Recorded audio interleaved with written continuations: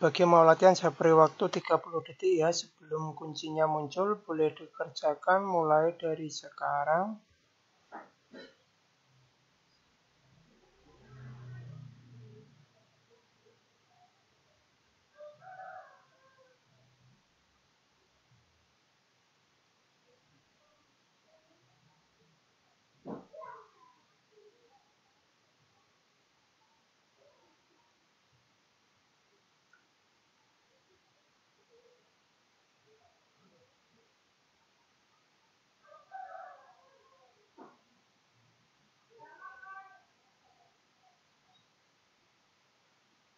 Kuncinya B ya. Soal ini saya ambil dari webnya pemerintah, platform Merdeka Belajar, guru.kemdikbud.go.id.